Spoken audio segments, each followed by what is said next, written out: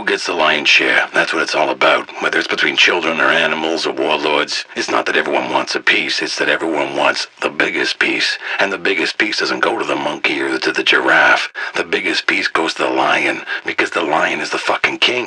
That's how it works. It worked that way a million years before there were men saying otherwise. That's probably how it should work. But you are not a lion. They call you the jackal. Shh. Sometimes the jackal steals the lion's share, but don't tell anyone.